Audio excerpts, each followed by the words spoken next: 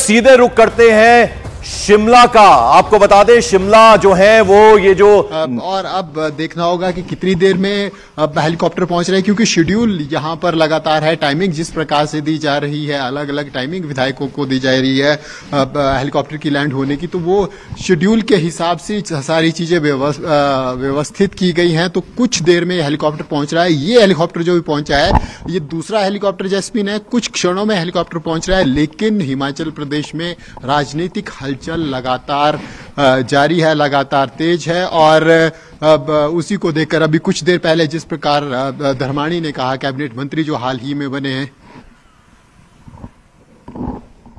बिल्कुल तो ये तस्वीरों में देख रहे हैं आप, इस वक्त हेलीपैड पर मौजूद है हमारे सहयोगी और अभी एक हेलीकॉप्टर लैंड किया है और कुछ ही देर में जो विधायक हैं, छह विधायक उनके अलावा तीन इंडिपेंडेंट हैं, उनको लेकर कुछ ही देर में पहुंचेगा हेलीकॉप्टर शिमला, हिमाचल प्रदेश की राजधानी।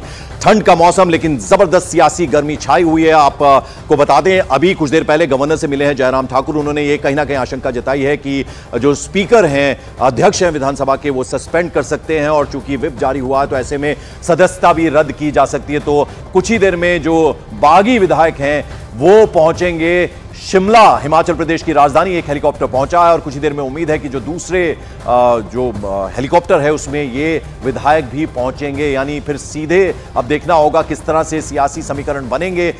शिमला पर इस वक्त सबकी नज़र टिकी हुई है। कल जिस तरह से बीजेपी के जो कैंडिडेट हैं हर्ष महाजन उन्होंने जीत हासिल की। अभिषेक मनु सिंघवी कांग्रेस के जो नेता हैं उनको शिकस्त मिली है। उसके बाद ज़बरदस्त हलचल है। आज सुबह सुबह सवा सात बजे के करीब गवर्नर से मिलने एक के बाद एक लैंडिंग का शेड्यूल यहाँ पर जारी है और कुछ देर में उम्मीद लगाई जा रही है कि भाजपा के विधायक हेलीकॉप्टर के साथ यहाँ पर लैंड कर सकते हैं और ताऊ देवीलाल स्टेडियम से रवाना होंगे भाजपा के विधायक और कुछ देर में यहाँ पहुँच सकते हैं। तो अगर पूरे घटनाक्रम की जैस्मिन आज हम नज़र दौड़ाएँ तो आज ये उम्मीद लगा रही है, लगाई जा रही है कि जैसे ही 11 बजे विधानसभा का सत्र शुरू होगा, उससे पहले तमाम विधायक, अड़सठ के अड़सठ विधायक आज हो सकता है। अगर जो विधायक एक बीमार चल रहे हैं वोटिंग के लिए कल भी उनको चॉपर के माध्यम से लाया गया तो आज भी उनको देखना होगा कि किस प्रकार से व्यवस्था उनकी रहती है क्या वो विधानसभा में पहुँच पाते हैं या नहीं पहुँच पाते हैं। इसके अलावा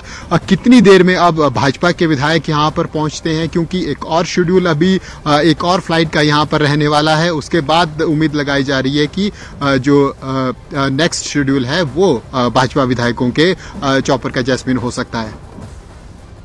तो न्यूज़ 18 इंडिया पर हम आपको मॉर्निंग प्राइम में एक्सक्लूसिव तस्वीरें दिखा रहे थे। हेलीपैड की जहाँ कुछ ही देर में पहुँचेंगे। तमाम जो बागी विधायक है, जिनमें छह कांग्रेस के हैं और तीन उसमें इंडिपेंडेंट हैं और इन्होंने बाकायदा भी राजीव बिंदल, जो बीजेपी के बड़े नेता हैं, उनसे पंचकुला में मुलाकात की और वहाँ से सीधे रवाना हुए हैं। हेलीपैड और अब कुछ ही देर में शिमला हेलीपैड पर उनकी लैंडिंग होने वाली है। ग्यारह बजे जब आज सेशन शुरू होगा, बजट सेशन है और कल एक बार जो है वो आखिरी दिन होगा बजट सेशन का। और हिमाचल की सुक्खू सरकार पर बहुत बड़ा संकट है। राज्यसभा चुनाव में बहुमत होने के बावजूद कांग्रेस हार गई। कांग्रेस सरकार के पास अपने कुल 40 विधायक थे। तीन निर्दलीय विधायक भी उन्हें सपोर्ट कर रहे थे, लेकिन राज्यसभा के चुनाव में बीजेपी ने कांग्रेस को पटखनी दे दी। और अब बीजेपी यह दावा कर रही है कि सुक्खू सरकार अल्पमत में है। तो वहीं विधानसभा में बजट सत्र चल रहा है, कल आखिरी दिन है और बदले सियासी समीकरण में सीएम सुखविंदर सिंह सुक्खू को बजट पास कराना चुनौती भरा हो सकता है। और अगर बजट पास नहीं होता तो सुक्खू सरकार गिर भी सकती है। इसके अलावा बीजेपी भी अविश्वास प्रस्ताव लाने की तैयारी में है। इसके लिए बाकायदा अभी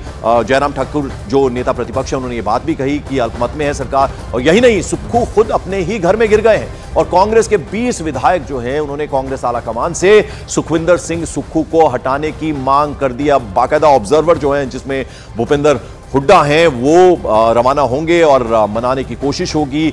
और अब ऐसे में देखना होगा कि आगे क्या होता है। इस बीच सूत्रों के हवाले से बड़ी खबर यह आ रही है कि हिमाचल कांग्रेस में बड़ी टूट की आशंका है। कांग्रेस के पाँच एमएलए और दो मंत्री बीजेपी के संपर्क में हैं। कांग्रेस के छह भागी विधायक पहले से ही बीजेपी के साथ दल बदल कानून से बचने के लिए तेरह विधायकों की ज़रूरत है। तो अब ऐसे में अगर देखा जाए तो क्या जो 20 नंबर बताया जा रहा है कांग्रेस के विधायकों का तो ऐसे में तो आधा हो जाएगा, यानी 40 अभी कांग्रेस के विधायक हैं, और अगर उनमें से 20 टूट जाते हैं तो फिर ये सब जो है, अगर हम आपको बता दें, होना है तो ऐसे में दल बदल कानून जो होता है एंटी डिफेक्शन रॉ उसके लिए तेरह विधायकों की ज़रूरत पड़ती है तो क्या वो पॉसिबल हो पाएगा? चौपर की तस्वीर हम आपको दिखा रहे हैं।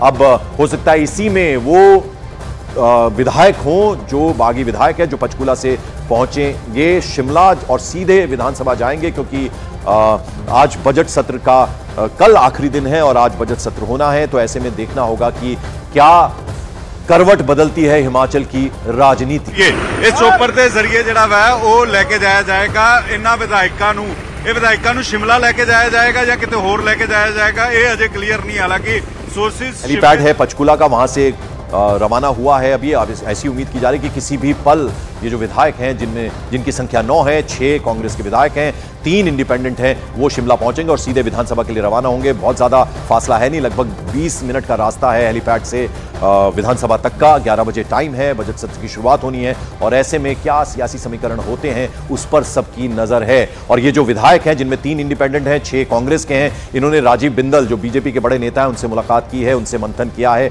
अब देखना होगा क्या स्ट्रैटेजी बनती है इस बीच। कांग्रेस आला कमान जो है, उसने भी अपने दो ऑब्जर्वर जो हैं, वो बना लिए हैं। हमारे साथ राहुल महाजन वरिष्ठ पत्रकार हैं।